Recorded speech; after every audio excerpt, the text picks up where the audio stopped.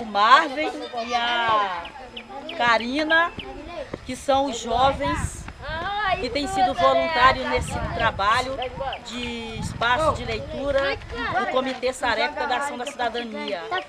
Esses jovens têm contribuído muito, têm trazido uma soma de talentos, uma soma de trabalhos.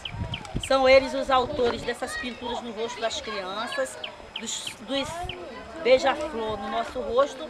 Também são, são jovens que estão contribuindo nesse projeto, trabalhando assim como na fábula do beija-flor, que era um pássaro solitário que em meio ao incêndio na floresta ia lá e dava sua pequena contribuição. Em resumo, o que eu posso dizer?